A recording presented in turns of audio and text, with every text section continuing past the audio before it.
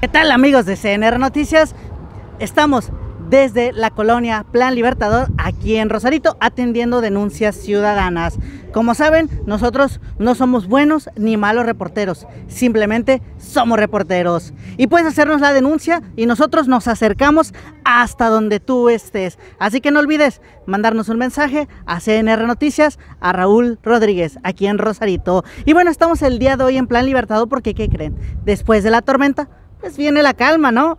Pero ¿cuál calma? La calma que normalmente vivimos en Rosarito y es por eso que nos vinimos a Plan Libertador. Justamente estamos a un costado de la famosa escuela secundaria número 7. ¿Y cuál es la denuncia? Pues pueden ver que aquí atrás tenemos lo que es el sobre ruedas y a los costados tenemos unos vehículos. Pero nos llama muchísimo la atención de estos vehículos es que en este sitio el cual ya los muchachos, jóvenes y niños empiezan a ir a la escuela, pues no tienen por dónde andar. Se están invirtiendo millones de pesos en circulación en las avenidas principales, en infraestructuras como arcos o en algunos otros lugares, pero se olvidan de los niños. Y es que en Rosarito estamos ya al regreso a clases y bueno, algo que vemos aquí en esta calle, calle Loreto de Plan Libertador, es que no hay banquetas. Vieron casi me atropellé el, el autobús porque efectivamente no hay por dónde caminar.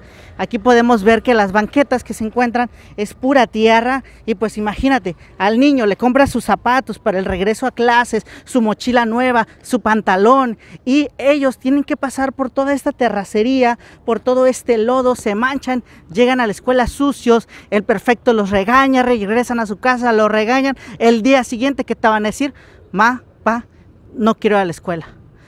Entonces yo los invito a que denunciemos y que aquí en la calle Loreto, así como las otras calles en paralelo del el Plan Libertador, pues están estos lugares que no hay banquetas, están llenos de tierra y bueno, hacer un llamado a las autoridades para que vengan a atender esta denuncia de los ciudadanos que se preparan para el regreso a clases. Les recuerdo que seguimos en esta crónica urbana desde la calle Loreto en Plan Libertador. Para CNR Noticias, yo soy Raúl Rodríguez.